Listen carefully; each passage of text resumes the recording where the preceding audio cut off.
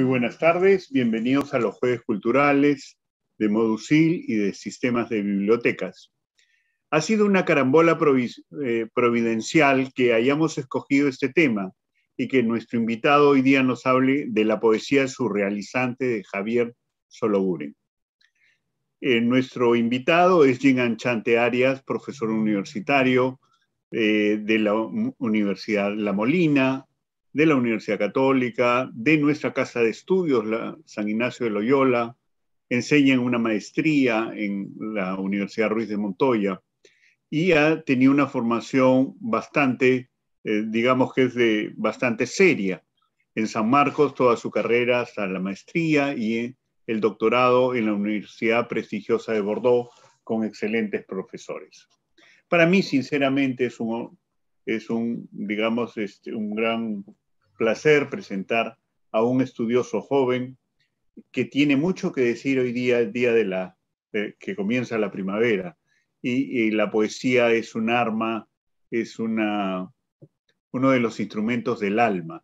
Y entonces estamos muy a gusto de contar con una presencia tan valiosa de un profesor querido en la Universidad San Ignacio de Loyola. Muchas gracias, Jim, por aceptar esta invitación. Nosotros desde desde aquí te estamos agradecidos y escuchamos tu, tu ponencia. Muchas gracias. Ah, un, aviso, las preguntas las pueden ir anotando en el chat y después haciéndolas a, viva voz o también por el chat. Muchas gracias. Buenas tardes. Bien, buenas tardes con todos. Eh, primero que todo, quiero agradecer eh, a Enrique eh, por sus palabras. siempre es un gusto estar eh, en los Jueves Culturales de la Universidad San Ignacio de Loyola. Eh, bueno, hablando de lo que más nos gusta, que en, este, que en este caso es la literatura y la poesía. Nuevamente, eh, muestro mi alegría por estar aquí para hablar sobre todo de un importante poeta peruano, que por cierto, este año, 2021, mm, que obviamente, ¿no? Eh, digamos, eh, es lo central, la fiesta de nuestro país, se cumplen 200 años de, de, nuestra, de nuestro país, 200 años de la República del Perú, y también justamente este año se cumplen los 100 años del nacimiento del importante poeta Javier Sologuren, que, bueno, en este caso me ha tocado hoy, ¿no? Hablar algo acerca de él. De hecho, se vienen realizando homenajes en diferentes lugares. Hace, hace poco la Universidad de Piura, por ejemplo, llevó adelante una, un coloquio sobre Sologuren. También han habido eh, homenajes eh, de la Academia Peruana de la Lengua. Javier Sologuren fue académico, ¿sí? ¿no? perteneció a la Academia Peruana de la Lengua, eh, la Universidad San Marcos, donde enseñó, por cierto, y también la Pontificia Universidad Católica del Perú. Y la USIL obviamente no podía quedar pues al margen de esto, ¿no? También este, ¿no? La USIL tenía que hacer su homenaje y bueno, en este caso, humildemente, ¿no? Me, digamos que eh, formo parte, podríamos decirlo así, ¿no? De este, de este pequeño homenaje a un importante poeta, pero en realidad, un poco por lo que vamos a hablar ahora, no solo poeta, en realidad eh, Sologuren realizó muchas eh, actividades importantes en su vida, podríamos decir que, sin duda alguna, Solo ¿no? Eh, ha sido uno de los importantes impulsores culturales del siglo XX de nuestro país. Bueno, entonces, sin más, yo quisiera empezar mi eh, exposición sobre la poesía de la obra de, de Sologuren. Le he puesto un título que, bueno, ¿no? Este, Enrique me comentaba que el término, pues, eh, llama la atención, ¿no? Y, bueno, en este caso quizá pueda despejar algunas dudas hoy o en todo caso eh, iniciar también, ¿no? Algunas inquietudes que más adelante se pueden volver diálogo, ¿sí? E, el título que he elegido para, para mi exposición de hoy es La poesía surrealizante de Javier Solocuri. Bueno, pero primero que todo quisiera dar algunos datos puntuales acerca de la biografía de de Sologuren. Él nació en Lima en el año de 1921. digamos que sus cuatro labores más importantes eh, en su vida fueron, ¿no? Escritor, poeta, traductor, editor y docente, ¿no? Se dedicó a las cuatro actividades durante lo largo de su vida. Ahora, en cuanto a su formación académica, eh, Sologuren estudió en la Facultad de Letras de la Universidad Nacional Mayor de San Marcos, ¿ya? Eh, y también estudió en diferentes países, por ejemplo, en el Colegio de México, institución tan prestigiosa, ¿sí? los, que, los, que, los que digamos, ¿no? tienen este conocimiento acerca de la formación académica en, México saben lo, que significa el Colegio de México. Y también este, estudió en la Universidad de Lovaina en Bélgica.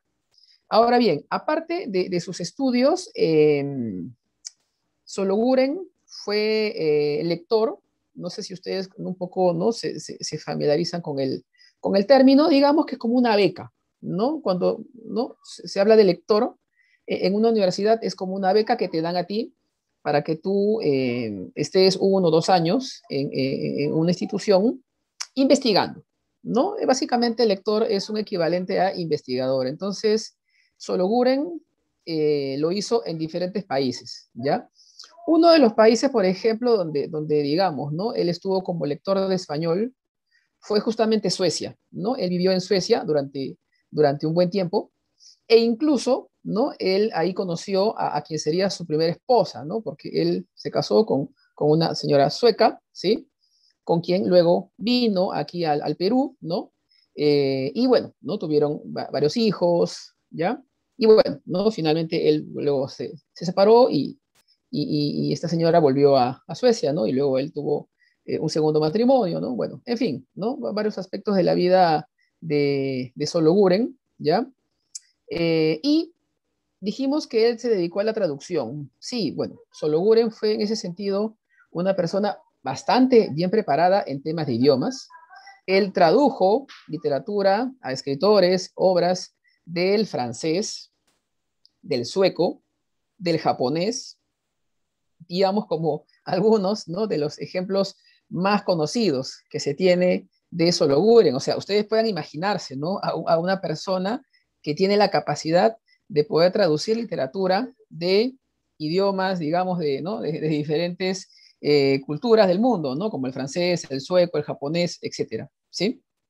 Ahora bien, él cuando regresa al, al Perú, eh, obviamente va a enseñar en su alma mater, la Universidad San Marcos, durante mucho tiempo, y eh, luego él eh, más bien va a enseñar en la Universidad Nacional Agraria La Molina, ¿no? Les cuento un poquito esto también, digamos, como conocimiento propio, porque yo, ¿no? También, aparte de ser docente en la, en la USIL, también enseño en la, en la Universidad Agraria y he tenido la oportunidad de conocer a, docentes que, que, conocieron, ¿no? Que fueron colegas de, de Sologuren, ¿no?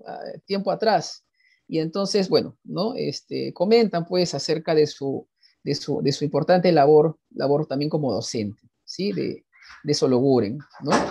Bueno, yo les cuento, bueno, he, mm, investigado sobre la vida de este escritor, he buscado bibliografías sobre su, su, vida, sus obras, un poco también he buscado videos, ahora que estamos con, ¿no? con, la onda virtual, ¿sí? He buscado videos y, por ejemplo, ¿no? Eh, en, internet les cuento, hay testimonios, por ejemplo, de, la esposa ¿no? sueca que él tuvo acerca de cómo ellos llevan adelante su, su labor editorial en, la casa que él tuvo en Chaclacayo, por ejemplo, eh, y también importantes personajes de, la literatura, em, por ejemplo, ¿no? Eh, Tomás Escajadillo, Rosina Valcárcel, o del mundo artístico, como por ejemplo Fernando de Cislo también, quienes fueron amigos suyos, ¿no? Y que, nos dan testimonio acerca, por ejemplo, una palabra que, se me quedó en la mente cuando, cuando escuché, cuando vi un video donde estos personajes hablan sobre Sologuren, es la palabra generosidad. Ahora, ¿no? Un poco eh, entendamos qué significa esto de generosidad en la, en la vida de, de, Sologuren. Eso lo voy a hablar un poco más adelante, pero puedo ir adelantando que Sologuren entre las décadas de los 50, 60, 70, él en su sello editorial, que seguro ¿no? Eh, algunos de ustedes deben conocer, la, Rama Florida, ¿ya?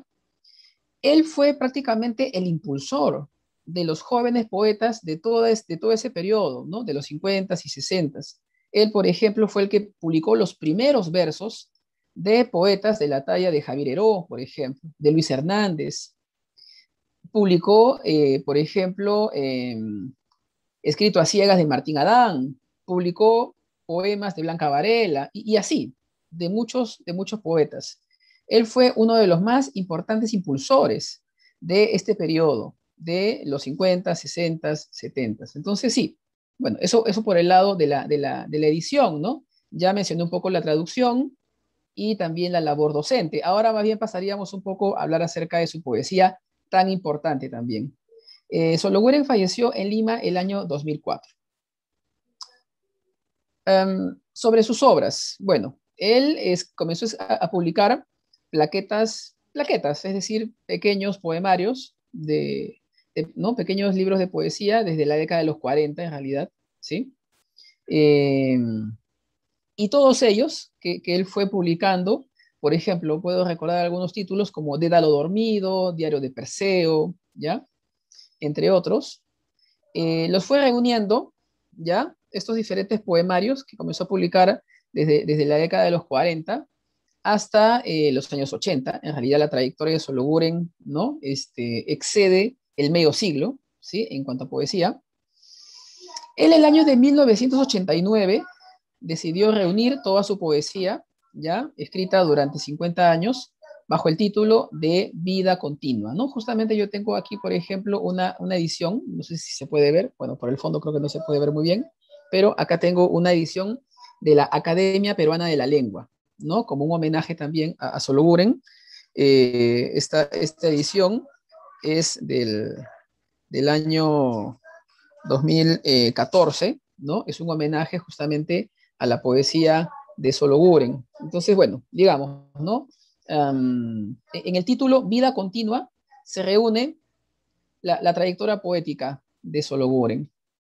Ahora bien, él aparte de poeta también fue ensayista, escribió muchos, muchos textos en prosa, reflexiones en torno a la literatura, bueno, peruana y, también de otras latitudes. Por ejemplo, él escribió mucho sobre literatura japonesa y de hecho una de sus influencias más importantes va a ser justamente la, literatura japonesa.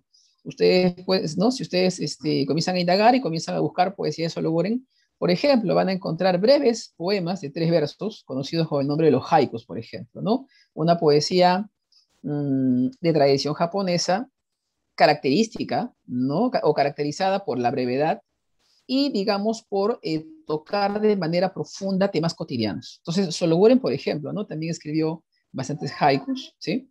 Él también habló sobre autores de diferentes países, de Europa, de, América, etcétera y reunió todos estos ensayos, estos textos en prosa, en el título Gravitaciones y Tangencias. Ahora, también a eso quisiera yo añadir que Sologuren fue un importante antologador. Él participó de eh, la publicación de diferentes antologías de literatura peruana y eh, en especial entre las décadas de los 50 y 60. Ahora, y fueron antologías que él publicó en colaboración con otros importantes escritores e intelectuales de su época, como por ejemplo Jorge Eduardo Eyerson, importante poeta de la generación del 50, Sebastián Salazar Bondi, que también perteneció a esta generación del 50 y que también fue uno de los principales impulsores, ¿no? o, mejor dicho, em, claro, impulsores académicos, culturales, intelectuales de esta época. ¿ya? Bueno, entonces, un poco, digamos, para darnos una idea, ¿no? de eh, las diferentes facetas de Sologuren en el ámbito literario, en el ámbito cultural. Bien. Ahora, eh, sobre su estilo, ¿no? Utilicemos la palabra estilo. Podríamos aquí destacar algunas características de la, de la poesía de Sologuren. Definitivamente Sologuren, ¿no? Eh, se caracterizó por un lenguaje fino, delicado, marcadamente musical y sugerente. Era muy cuidadoso con, la palabra. Buscaba lo que en términos musicales podríamos llamar una suerte de eufonía del lenguaje. ¿ya? Llegamos un verso melódico. Y, el tema de la musicalidad también va a ser clave, por si acaso, en la, en la obra de Sologuren. La poesía de Sologuren no es muy, extensa, ¿no? Yo, por ejemplo, aquí les muestro, eh, hace un momento les, ¿no? voy a mostrar la poesía completa de Sologuren, y bueno, llega a las, si bien, si bien es cierto, llega a las 400 páginas, ¿ya? pero en realidad hay poetas que han dejado mucha más, mucha más, mucho más páginas escritas, ¿no? Y además, sí, y además, por ejemplo, hablamos de los haikus, ¿no? Versos de, tres, de tres versos, perdón, poemas de tres versos que eh, aparecen en diferentes páginas. Entonces, en mi opinión, en mi opinión, eh, si comparamos, por ejemplo, ¿no? Quizá a, otros poetas, lo, que han escrito en cuanto a cantidad, si lo comparamos con Sologoren, podríamos hablar de que no es muy extensa, ¿no? Su, digamos, la poesía en cuanto a cantidad. Aquí la clave es la calidad, ¿no? En el sentido de, repito, Sologuren cuando publicaba sus plaquetas, en realidad eran pocos poemas, sus poemas en general no son extensos. Los, poemas más extensos que tiene Sologuren, por ejemplo, Recinto, eh, La Hora, entre otros, mm, tienen un poco más de 500 versos, ¿no? Entre más o menos, ¿sí? ¿ya? Pero sí, hay una, un, cuidado muy, pero muy delicado por la palabra, ¿ya? Ahora, y aquí yo quisiera también mencionar justamente, ¿no? Una, palabra que uso en, el título de mi exposición, surrealizante. ¿A, qué denominamos nosotros una poesía surrealizante? Obviamente tenemos que vincularlo con el surrealismo. El surrealismo fue un movimiento artístico aparecido en Francia en la década de los 20, dentro del contexto de las vanguardias, esta explosión artístico-cultural que significaron las vanguardias, que prácticamente ¿no? Eh, marcaron una ruptura con la tradición artística eh, europea, y, crearon lo que hoy llamamos el arte contemporáneo. Entonces, eh, en la poesía de Sologuren también encontramos algunos de estos elementos, pero con sus propias particularidades, como vamos a ver en un momento. ¿ya? Sologuren en ese sentido, podemos afirmar que es un poeta que siempre buscó renovarse. Por ejemplo, nosotros vamos a encontrar formas clásicas en, en, Sologuren. Hace rato mencioné algunos, algunos eh, poemarios como Dédalo Dormido, como Diario de Perseo, y básicamente son sonetos. Si ustedes ¿no? Este, tienen, ¿no? Este, recuerdan la estructura de un soneto, es verso medido, es verso regular, ¿verdad? Dos cuartetos, dos tercetos, endecasílabos, rima consonante, bueno, etcétera. ¿Se dan cuenta? Y entonces Sologuren escribió sonetos. Pero luego también Sologuren eh, entró, digamos, ¿no? A esta suerte de mm, asimilación de, expresiones eh, poéticas como el simbolismo, como el surrealismo, más adelante va a jugar con la página en blanco, ¿no? Lo que podríamos hablar una suerte de acercamiento a la poesía concreta, ya los experimentos vanguardistas. Fue un poeta que, digamos, eh, nunca se encasilló en un solo estilo, buscó nuevas formas. Un poeta muy, em, en ese sentido, rico en cuanto a estilos, muy complejo. Leer a Sologuren no es tan fácil tampoco, ¿no? Hay, hay poemas que son bastante oscuros en cierto sentido, ¿ya? Entonces, creo que a grandes rasgos estoy tratando ¿sí? de, caracterizar el estilo de la poesía de Sologuren. Ahora, para definir un poco, porque ese, también es uno de mis intereses, ¿sí?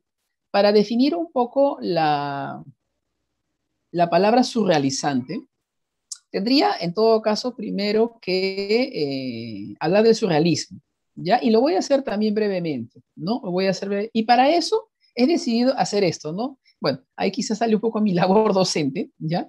Eh, disculpen. Ahí ustedes están viendo eh, un poema, ¿no? Y, ah, con el título Poesía Surrealista. Ojo que este poema no es de Sologoren, ¿no? Eso de antemano quisiera eh, adelantar, ¿ya? El poema que ustedes están viendo ahí no es de Sologoren, es un poema de otro escritor peruano llamado Alfredo Quispe Sacín, pero más conocido como su seudónimo César Moro, ya seguro, ¿no? Muchos de ustedes recordarán al gran poeta peruano César Moro. Él, él sí, un poeta surrealista que incluso se codeó con los, con los, con los poetas surrealistas franceses. Él perteneció al grupo conformado por André Breton, Paul Eluard, Louis Aragon, Salvador Dalí y, digamos, ¿no? Todos aquellos artistas que formaron parte del movimiento surrealista, Moro escribió en francés, incluso podemos afirmar, la mayoría de su poesía está escrita en francés y algunos poemas suyos están escritos en castellano. Aquí hay un poema surrealista. Ya repito, no va a ser un poco quizás mi lado docente de, un poco este, aclarar el panorama, llamémoslo así. Déjenme, por favor, primero lo voy a leer, ¿ya? Y, y en todo caso, bueno, esperemos que este, mi lectura sea ¿no? este, atractiva. ¿Sí? Lo voy a leer. El olor fino solitario de tus axilas, un hacinamiento de coronas de paja, hieno fresco cortado con dedos y asfódelos y piel fresca y galopes lejanos como perlas. Tu olor de cabellera bajo el agua azul con peces negros y estrella de mar y estrellas de cielo bajo la nieve incalculable de tu mirada tu mirada de holoturia, de ballena, de pedernal, de lluvia, de diarios, de suicidas húmedos, los ojos de tu mirada, de pie de madrépora. Esponja diurna a medida que el mar escupe ballenas enfermas y cada escalera rechaza a su viandante como la bestia pestada que puebla los sueños del viajero. Y golpes centelleantes sobre las sienes y la ola que borra las centellas para dejar sobre el tapiz la eterna cuestión de tu mirada de objeto muerto, tu mirada podrida de flor. en este momento no voy a interpretar el poema, ¿ya? O sea, no voy a, digamos, ¿no? a explicar básicamente de qué trata, en parte también porque, ojo, digamos que el juego surrealista trata en que no, no debería haber un sentido en el poema. Ustedes conocen a Sigmund Freud, conocen, bueno, no tienen algo de, ¿no? Bueno, no sé, dependiendo de la formación que tengan, pueden tener mayor o menor información sobre el psicoanálisis. Yo tampoco soy un experto, pero he llevado, digamos, algunos, algunos cursos sobre esto. Y lo primero que podríamos afirmar en todo caso es que el inconsciente es un discurso, ¿sí? Eso está claro, el inconsciente, pero que eh, expresa, llamémoslo así, ese lado soterrado del pensamiento, ese lado eh, que no es, digamos, ¿no? Eh, vinculado a la lógica, a la razón, estaría más cercano a lo onírico, es decir, al mundo del sueño. Y Freud también hablaba de los laxos lingüísticos. En otras palabras, el surrealismo, ya obviamente lo voy a simplificar, pero, digamos que en síntesis lo que el arte surrealista buscaba era la expresión del inconsciente. En otras palabras, la expresión de aquello que no se puede explicar, ¿sí? De aquello no racional, de lo irracional. Y para ello buscaron aplicar algunas técnicas, ¿sí? Una de ellas, quizá la más famosa, es la escritura automática. Ustedes se preguntarán, ¿y qué cosa es la escritura automática?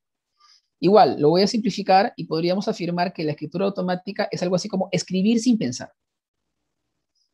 Que, eh, las palabras fluyan como un río, llamémoslo así, y, que no las atemos a un pensamiento, que no las atemos a ideas. Y ustedes podrán observar en este poema imágenes, ¿ya? En cierta medida, mm, irracionales, ¿sí? Eh, elementos que se van concatenando y que no construyen un sentido lógico. Quizás sí está esa fuerza sugerente, ¿no? Ese apasionamiento del inconsciente, según los surrealistas, pero no hay mayor sentido lógico. Ahora, hablando en términos normativos, uno, ustedes pueden ver la ausencia de signos ortográficos. No se usa puntos, comas, no hay eso. Los versos empiezan con una mayúscula. ¿no? O sea, algo así como que cada verso es, ¿no? Individual, en cierta, en cierta medida, ¿ya? Em, y no hay, pues, una hilación coherente, ¿no? Desde el punto de vista, por ejemplo, ¿no? Nosotros enseñamos aquí en la UCIL texto eh, académico, entonces hablamos sobre la coherencia, sobre los recursos de cohesión. Nada de esto figura acá. ¿Por qué? Porque los, repito, surrealistas buscaban crear eso, un arte del inconsciente, donde la palabra tuviera la mayor libertad posible. Estoy, ojo, tratando de resumir en, pocos minutos de qué trata más o menos la estética surrealista. Hubo poetas que leyeron profundamente este tipo de literatura, entre ellos nuestro Sologuren, y que escribieron una poesía que tuvo, digamos, ¿no? cierto, cierto tono surrealista, pero que no llegó a ser surrealista. Y ahí entraría justamente a tallar el término surrealizante. Surrealizante deriva de surrealista, ¿no? Surrealizante es que está relacionado con el surrealismo, pero que no es exactamente surrealismo. Hay una mirada onírica, hay un juego con las imágenes, hay una búsqueda de una ensoñación que, en cierta medida escape de lo, real, de la lógica, de lo racional, pero no de forma, no al menos extrema, ¿no? Como lo que estoy mostrando. Por ahí va un poco la orientación surrealizante. Y de hecho, en el Perú y, en muchos países encontramos a, poetas de cierta tendencia surrealizante. Pensemos en el Pablo Neruda de Residencia en la Tierra, pensemos en el poeta español Vicente Alexandre, ganador del Premio Nobel de Literatura, pensemos en otro español como Luis Cernuda, pensemos en, nuestro poeta peruano, amigo de César Moro, Emilio Alfo Westphalen, que no termina de ser, en algún momento al menos, surrealista. Y así, yo les puedo ¿no? mencionar muchos otros nombres de, una tendencia que en el ámbito al menos de los estudios literarios nos sirve un poco, ¿no? Para poder distinguir ya entre, digamos, por un lado, el surrealismo y una poesía que eh, se alimenta de, ¿no? de elementos de, de, este surrealismo, pero que no termina siendo surrealista. En ese sentido, estimados amigos, es que hablamos de una poesía surrealizante en solo, en solo Claro, una de sus, uno de sus estilos, una de sus tendencias, no es la única, pero es un poco la que yo hoy, quiero compartir con ustedes. Dicho esto, ahora sí pasaría a leer un poema de Sologuren. Y justamente es un poema de una plaqueta que lleva como título Vida Continua, el poema también se llama así, y como recordarán lo que dije hace un rato, es el título que eh, Sologuren elige para, este, ¿no? Para toda su poesía, o sea, para, para juntar toda su poesía. Así que definitivamente es un título importante y en mi opinión es uno de sus poemas más bellos, ¿no? A pesar de su brevedad, es un poema bastante bello. Permítanme que, lo lea primero y a continuación un poco lo comentemos. Bien, entonces vida continua eh, es eh, lo siguiente, ¿no? Árbol que eres un penoso relámpago, viento que arrebatas una ardiente materia, bosques de rayos entre el agua nocturna. He de decirles que para mí se está forjando una pesada joya en mi corazón, una hoja que yende como una estrella el refugio de la sangre. Ignoro otra mirada que no sea como un vuelo, reposado y profundo. Ignoro otro paso lejano. Ola que fuese más clara que la vida en mi pecho. Sepan que estoy viviendo, nubes, sepan que canto, bajo la gloria confusa de la tarde solitario. Sepan que estoy viviendo, que me aprieta el cielo, que mi frente ha de caer como lámpara vacía a los pies de una estatua que vela tenazmente. Ese es el poema. Ahora bien, antes de, comentarlo, quisiera aquí, por ejemplo, ¿no? hacer una pequeña comparación con lo que acabamos de leer hace un momento el poema de César Moro como ejemplo que les he dado de poesía surrealista y en qué medida encontramos diferencias, por ejemplo, con este poema. Este poema también presenta imágenes, en mi opinión, muy sugerentes, ambiguas, casi casi del mundo de los sueños, un poco a la usanza de los surrealistas, pero el estilo es diferente. Por ejemplo, aquí encontramos una mayor coherencia gramatical. Ustedes pueden ver, por ejemplo, el uso de signos de puntuación. Por ejemplo, pueden ver también que los versos a veces se congregan en oraciones. De hecho, ¿no? Ahí vemos, por ejemplo, una extensa oración separada, ¿no? En dos proposiciones, ¿ya? O en varias proposiciones. Eh, ya, ese tipo, por ejemplo, de estructuración no es surrealista, no lo es, pero se puede vincular con lo que estamos llamando como lo surrealizante. ¿Se dan cuenta? Eso es lo primero que quisiera mencionar. Lo segundo, y, ¿no? y, sin ánimo de caer en términos biográficos, pero muchos estudiosos de Soluren siempre ponen énfasis en algo interesante. Creo que siempre es importante conocer algo de la vida del poeta. Soluren de niño fue eh, enfermizo. Él mm, padeció ¿no? una, una, una, enfermedad que, digamos, en cierta medida generó que él no, no, no pudiera ir ¿no? a la escuela de forma normal, ¿ya?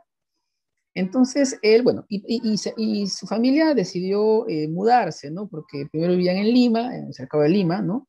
Y luego se mudaron hacia Barranco, ¿no? Que bueno, digamos, hoy, ¿no? Hoy, cuando nosotros hablamos de Lima y Barranco, pues para, para los limeños de hoy es lo mismo, ¿no? O sea, no hay diferencia, ¿no? Entre Lima y Barranco. Pero para la época de Sologuren aún era diferente, ¿no? Aún se hablaba de otro lugar, Barranco, ¿no? Otro lugar. Eh, donde los balnearios, ¿no? Este, digamos, no, nos daban una suerte de aire más, más limpio, ¿no? Una suerte de vida más sana. Entonces enviaron al niño Sologuren a, a vivir a Barranco, ¿no? No iba en esos días a la escuela y prácticamente él se dedicaba, ¿no? Eh, en sus tardes, ¿no? En sus días cotidianos a jugar, a jugar en su jardín, a jugar. Eh, había mucho, mucho, mucho, digamos, mucho, mucha, mucha planta, ¿no? Muchas áreas verdes, ¿no? Y él estaba pues siempre ahí, ¿no? En la naturaleza. Ya, justamente, ¿no? Esa relación con la naturaleza es la que un poquito quisiera, ¿no? Yo destacar en este poema. Em, esas, digamos, no voy a entrar aquí a profundizar términos, ¿no? Sobre psicología infantil, pero como nosotros sabemos, eh, la mentalidad del niño, la psicología infantil, es muy animista, ¿no? O sea, si, si, una, si, al niño una puerta lo golpea, en, su pensamiento, el niño cree que la puerta lo ha golpeado adrede. Y si ustedes ven a un niño que le pega a la puerta, es porque el niño le está dando, le está dando, le está dando vida a la puerta. No sé si, ¿no? No sé si me entienden, ¿no? Entonces, para un pequeño que está rodeado de insectos, de plantas, de agua, de, de nubes, etcétera, ¿no? Que está solo, ¿no? Y, entonces se pone a jugar, ¿no? Con los palitos que encuentra en, el pasto. Entonces, todos ellos son sus amigos. Y muchos, ¿no? Biógrafos, digamos, parten de la, idea, muy sugerente, por cierto, de que en ese, en ese contexto, eh, Sologuren constituye, ¿no? Una visión particular del mundo que va a influir en su, en su, en su poesía. Y si nosotros, por ejemplo, ya entrando ¿no? en materia en el poema, vemos aquí eh, al yo poético, ¿no? El yo poético aquí se pone a hablar con quién, fíjense bien, ¿no? Se pone a hablar con el árbol, se pone a hablar con el viento, se pone a hablar con los bosques, ¿no? Y, les atribuye cualidades, ¿no? Al, árbol como penoso relámpago, ¿no? Al viento como ardiente materia, ¿se dan cuenta? La ubicación de los bosques, ¿no? Entre el agua nocturna, y, luego les hace una pregunta a ellos y les dice, he de decirles que para mí se está forjando una pesada joya en mi corazón. Bueno, obviamente que nosotros sabemos que el corazón como símbolo cultural pues de los sentimientos, ¿no? En ese sentido también podemos hablar de una suerte de neorromanticismo en la poesía de Sologuren y, y el uso de la hoja. Bueno, aquí la hoja aparentemente es una hoja de un árbol, pero una cosa que yo quisiera señalar, ya no, habría que, compararlo con otros poemas de Sologuren, la hoja es usada por Sologuren muchas veces en forma ambigua, ¿no? O sea, no queda claro si está hablando de la hoja de un árbol o si de la hoja en la que se escribe. Ojo que toda esta poesía es pre-internet, es pre-computadoras. ¿ah? Hoy estoy seguro que cuando uno piensa en escribir, lo primero que hace es pensar en su celular. en la época de Sologuren no había celulares en la época de Sologuren, cuando un escritor se, sentaba a escribir, cogía una hoja, ¿no? Y cogía un lápiz o, un lapicero y se ponía a escribir. ¿Ya? Entonces sí, ¿no? También tengan en cuenta eso, ¿no? O sea, el elemento de la hoja, clave, ¿no? En, la poética escritural.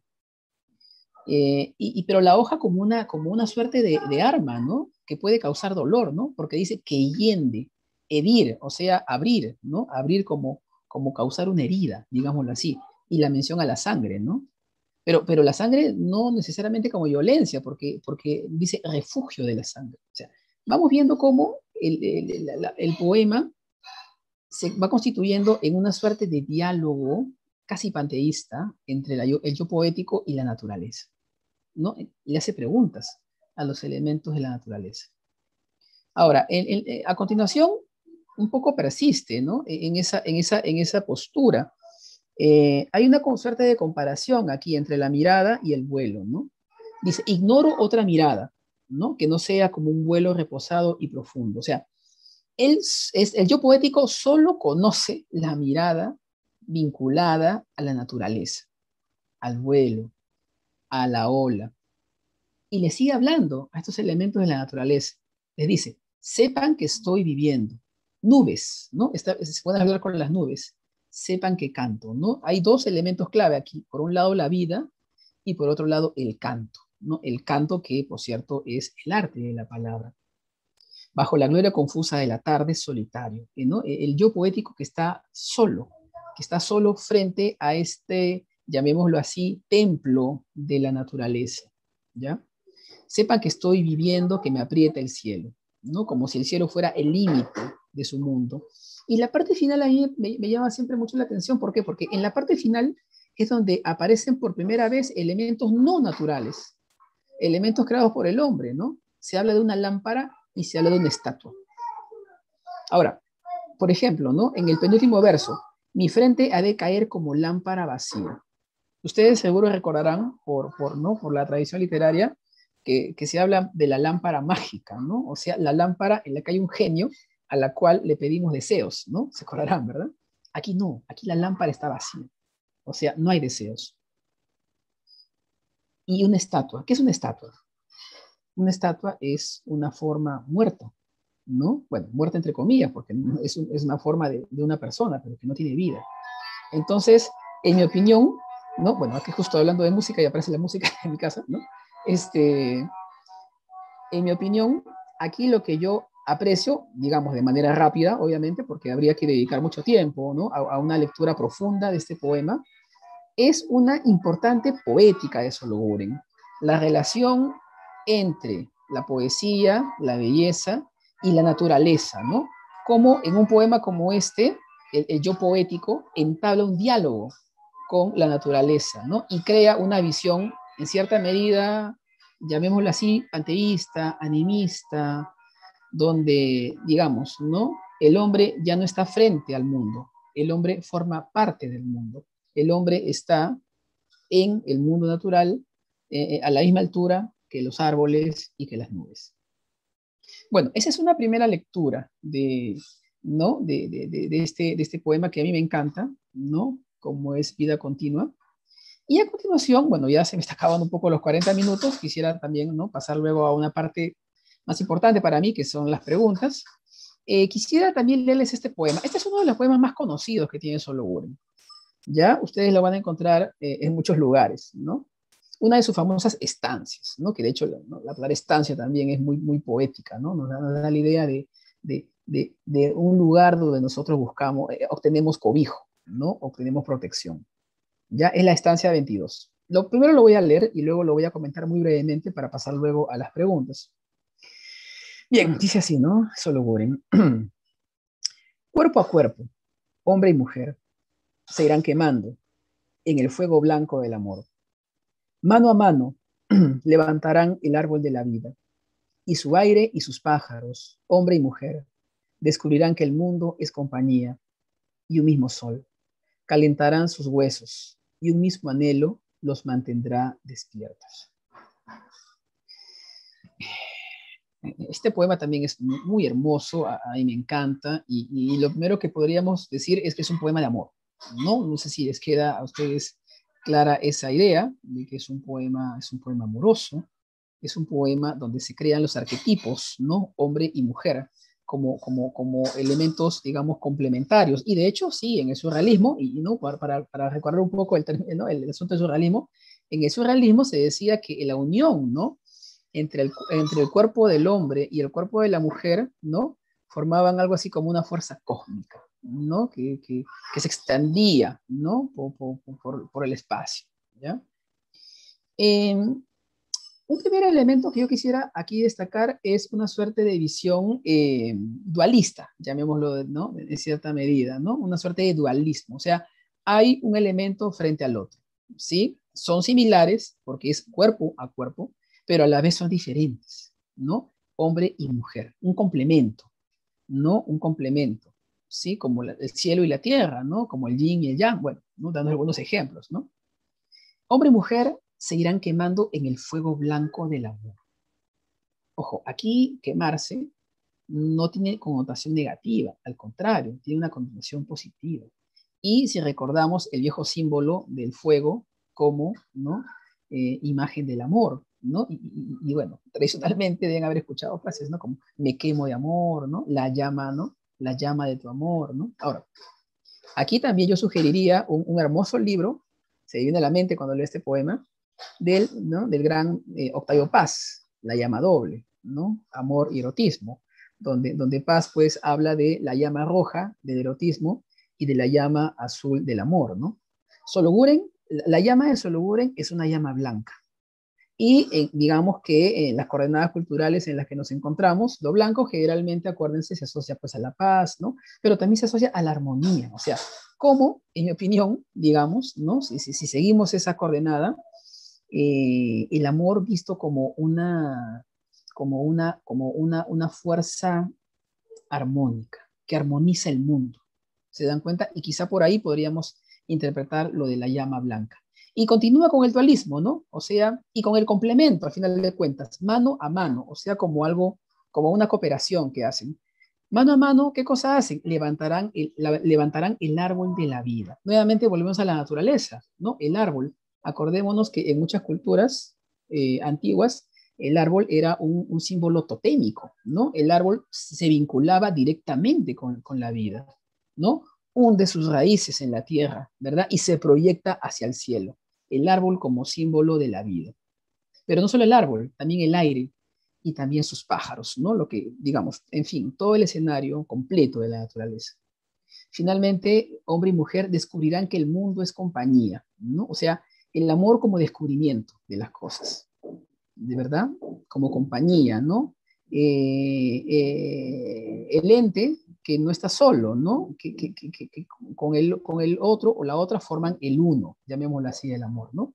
Y un mismo sol calentará sus huesos. Aquí, por ejemplo, en mi opinión, hay un, elemento interesante eh, vinculado al, tiempo circular, ¿no? Aquí quizás no se desarrolla mucho, pero en otros poemas de Sologuren ustedes van a encontrar esa suerte de tiempo circular, de, de que después de la vida viene la muerte, pero que la muerte no necesariamente ya es el fin de todo, ¿no? Sino que incluso después de la muerte uno puede encontrar vida, ¿no? Acuérdense, por, ¿no? por ejemplo, el ciclo de, ¿no? agrícola, ¿verdad? El ciclo agrícola, ¿no? Que después de la siembra, la cosecha y así sucesivamente. Y a esta sazón podemos también recordar un hermoso poema de, ¿no? del español Francisco de Quevedo, eh, eh, donde, ¿no? Amor constante más allá de la vida, ¿no? Donde eh, al final el poeta llega a decir, ¿no? seremos polvo, más polvo enamorado, ¿no? O sea, algo así como que el amor rompe el límite de la vida, ¿no? Aquí el sol calentará nuestros huesos o los huesos de los amantes y los mantendrá despiertos. O sea, el amor como una fuerza, ¿no? Que, repito, eh, traspasa los umbrales de la vida, ¿no? En ese sentido, también, en mi opinión, es un hermoso poema, ¿no? De amor, que en este caso eh, escribe, ¿no? Solo Guren para nosotros. Antes de terminar eh, y pasar a las preguntas, quería mostrarles esto. Miren, aquí yo solamente he elegido tres títulos que Sologuren publicó en su taller de la rama florida, escrito a ciegas, de Martín Adán, uno de los poemas más hermosos de la literatura peruana.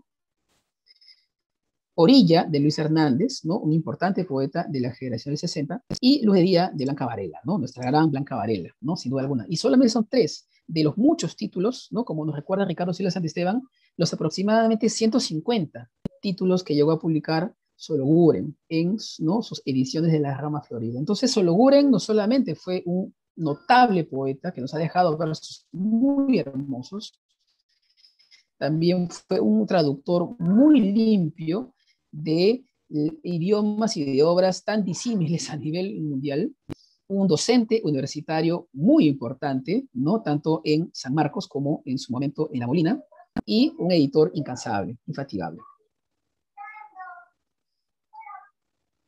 Bueno, con esto yo quisiera cerrar esta primera parte y pasar quizá a una más interesante, ¿no? Que sean sus preguntas y entablar un, un, pequeño diálogo. Muchas gracias. Gracias. Ahora sí es la parte un poco que eh, los actores son los participantes y entonces les pedimos que la puedan decir a viva voz o les escriban, por favor, ¿ya? Ok, está el chat abierto, pueden escribir sus preguntas. Eh, estamos, este, nos ha hecho un recuento de este gran autor, ¿no? Eh, y conocido sobre todo, ¿no?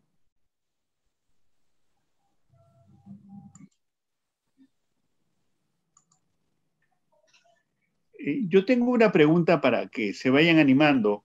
Dime, los haikus que, traduce eh, Sologuren y que después tenía una especie de discípulo con Cisneros, ¿no?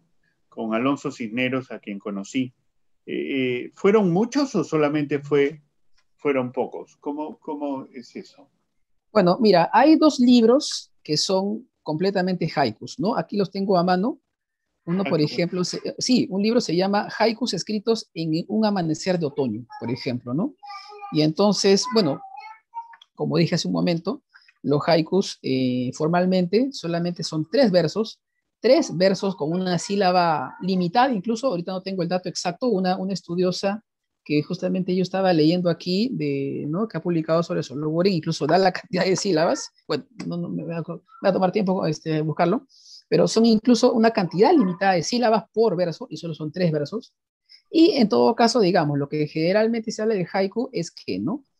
Eh, hay una, una, se trata de dar una mirada profunda de algo cotidiano, ¿no? por ejemplo, quisiera leer, leer, Enrique, eh, ¿no? Para todos, solamente uno nada más, ¿no? Que dice, el papel, la madera, aunque es de noche, suave destella. Ahí está el haiku, ¿no? O sea, aparentemente, ¿no? Dice muy poco, pero, pero hay un sentido profundo ahí en algo tan cotidiano, ¿no? como el papel, como la madera. Hace rato hablábamos, ¿no? Acerca de la ambigüedad en Solowen siempre entre la hoja, ¿no? La hoja del árbol, la hoja de papel. Aquí, por un lado, está el papel y por otro lado está la madera. ¿Te das cuenta? Hay escritura y hay naturaleza, ¿no? Entonces, ese tipo de cositas, por ejemplo, ¿no? En, en, en son constantes. También hay otro libro, ahorita eh, déjame ver, creo que son los folios del de, enamorado y la muerte, que también son haikus, si no me equivoco, eh, yo pienso que él llegó a escribir mm, por lo menos más de 50, 60 haikus. No, no, no, no, no tendría una cantidad exacta, pero, pero sí escribió una importante cantidad de haikus, ¿no? Y, y es fundamental al, al, leer a, a Sologuren y, y, al indagar sobre él, eh, hacer, el, digamos, el estudio de, de, sus relaciones, sus diálogos con la literatura japonesa, ¿no? También es importante. Una pregunta, ¿hay haikus de amor y de romance? Te han escrito por el chat. ¿Hay haikus de amor y romance? Bueno, sí, en realidad los haikus, como, como dije hace un momento, eh, tratan sobre diferentes, ¿no? o sea, lo que se busca es ¿no? que, que, se, que, se, hable sobre lo cotidiano, ¿no? las cosas más elementales de la vida, pero desde una óptica, llamémosla así, profunda, ¿no? hasta, hasta cierto punto eh, metafísica, llamémosla así, ¿no? Por ejemplo, a ver, acá estoy hojeando a Sologuren, acá acabo de encontrar uno, dice, ¿no? tú, ¿no? Cara a cara, dice, ¿no? Y me hablas, me sonríes, y qué lejana. En mi opinión, aquí, por ejemplo, hay una temática amorosa, aunque, ¿qué tipo de amor? Diría, ¿no? Por ejemplo, ¿no? Una suerte de amor, pues, este, frustrado, ¿no? O no correspondido. ¿Por qué? Porque le dice cara a cara, ¿no? Me hablas, me sonríes, y qué lejana. ¿No? O sea, estando frente a él, a su vez está lejana. ¿Te das cuenta? Yo creo que por ahí iba un poco, ¿no? Esto del, del haiku, ¿no? Sí, de hecho hay muchos versos, ¿no? Así Muchas gracias.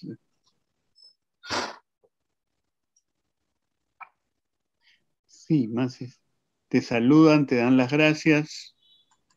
¿Alguien más? ¿A viva voz? ¿Alguien quiera decir una pregunta? ¿Y cuál sería el libro que tú recomendarías para acercarse a la poética de Sologuren? cuál es el que es, digamos, el beginners para, para principiantes? Ya, bueno, bueno, este, se han hecho varias ediciones de, la poesía completa de Sologuren. De hecho, yo tengo, tengo dos ediciones, ¿no? Una de ellas es esta de la Academia Peruana. Y, un, em, un, intelectual que, que, tiene ensayos muy, muy bellos y muy profundos sobre Sologuren es eh, Ricardo Silva Santesteban. De hecho, el editor de este, de este libro es Ricardo Silas Esteban. Y Ricardo Silas Esteban eh, fue un muy buen amigo de Sologuren, ¿no? Fue, publicó también su primera plaqueta, Ricardo, Terra Incógnita, con este Sologuren. Eh, bueno, no, sin ánimo de, caer en vanidad, pero puedo, decir que me une una, hay un lazo de amistad eh, entre quien habla y, y Ricardo Silas Esteban y eh, hemos tenido ¿no? diferentes conversaciones en las que Ricardo pues, me hablaba de, de Solo ¿no? de manera tan, tan, tan amical, tan entrañable, ¿no? Y, sobre todo una cosa que yo, por ejemplo, ahora también veo en Ricardo, ¿no? Eh, eh, Solo hace rato hablamos de la palabra generosidad, a Solo le, le, gustaba mucho este, impulsar los proyectos de jóvenes, ¿no? O sea, pensemos en, un Javier Herón de 20 años, en un Antonio Cisneros de 20 años, ¿no? Pensemos en, poetas hoy consagrados, que en su momento, pues, eran nobles, ¿no? Y que, y que, y que, y que les dio ese espaldarazo, ¿no? Entonces, uno es ¿no? el ensayo de Ricardo Silas Santisteban, y en este momento, eh, bueno, ahí tengo un amigo que, que, también está en este momento haciendo su doctorado en la Universidad de Salamanca, Renato Guisado, que está investigando sobre Sologuren y tiene artículos sobre Sologuren. Yo recomendaría el ensayo de Ricardo Silva Santisteban. E, y, y, también, ¿no? Este, bueno, por ejemplo, aquí yo tengo un boletín de la Academia Peruana, donde hay escritores, ¿no? Como Eduardo Chirino, por ejemplo, que este, también han dedicado, ¿no? Algunos ensayos sobre, sobre Sologuren. Si nosotros googleamos, ¿no? que es lo que está de moda hoy, ¿no? Vamos a ver, vamos a, a encontrar en, el Google académico varios ensayos, muchos de ellos muy didácticos, ¿no? No son tan complejos y muy profundos, ¿no? De Ana María Gasolo, de, ya, mencioné, ¿no? A, Renato Guisado, ¿no? Eduardo Chirinos, ¿ya? Entre otros, sobre Solo Bueno, creo que por ahí, ¿no? Sobre todo sugeriría. Eh, eh, que Antonio preguntaba cuál o quién fue la mayor influencia de Sologuren. Bueno, digamos que este, en, mi, exposición directa e indirectamente un poco he hablado de eso, ¿no? Pero lo puedo retomar, no hay ningún problema, por supuesto. La literatura japonesa. Y cuando hablamos de la literatura japonesa, a veces, eh, bueno, definitivamente hay nombres, ¿no? Tanto en la poesía como en la narrativa, Kawabata, Mishima, ¿no? Por cierto, escritores que Sologuren, eh, eh, digamos, em, reflexionó sobre ellos, ¿no? Él tiene ensayos, ¿no? Sobre estos autores, ¿no? Sobre Mishima, sobre Kawabata. Él este, eh, publicó traducciones de, digamos, antologías de la poesía japonesa, de diferentes etapas, ¿verdad? Em, así que sí, un primer aspecto clave en, en Sologuren es la poesía japonesa. Y por otro lado, está la poesía occidental, ¿no? Española, por ejemplo. Ah, me estaba olvidando de algo que es clave. Sologuren tiene un texto donde él habla sobre sí mismo, ¿no? No sé si lo tengo por acá, déjenme, ver un ratito, pero sí, hay, un texto donde Sologuren eh, habla, ah, digamos, acá, eh, acá, está, ¿no? Lo encuentran en esta misma edición de la Academia Peruana, se llama Proemio, ¿no? Solo son dos páginas, y, y Sologuren ahí nos habla acerca de, por ejemplo, la poesía de San Juan de la Cruz, ¿no? El famoso poeta, ¿no? Místico español. También nos habla sobre, sobre la poesía francesa, ¿no? Que, bueno, tanta influencia tuvo, sobre todo en la primera mitad del siglo XX. Eh, nos habla del siglo de oro, nos habla de eh, poetas como Holderlin, ¿no? Alemán, John Keats, inglés, ¿no? Creo que sobre todo por ahí. En realidad, este, hablar de influencias en Sologuren es complejo, ¿por qué? Porque él mismo, ¿no? Como poeta tiene tantas, tiene varias, varios estilos, varias facetas, ¿no? Pero, pero quizá por ahí empezaríamos, ¿no? Justamente si yo utilicé la palabra surrealizante, es porque lo he vinculado también con el surrealismo, ¿no? Así que también por ahí habría, ¿no? Un vínculo. Sí. Bueno, eso en relación con la pregunta de Antonio, ¿no? Así es. Bueno, no sé si hubiera algo más. En todo caso, quisiera un poco terminar, eh, como siempre, ¿no? Sugiriéndoles eh, que la mejor manera para, conocer a un, a un escritor es leyendo sus obras, ¿no? Porque claro, Enrique, por ejemplo, lo que tú me preguntas es muy pertinente, ¿no? ¿Qué textos nos, nos pueden un poquito orientar, guiar, ¿no?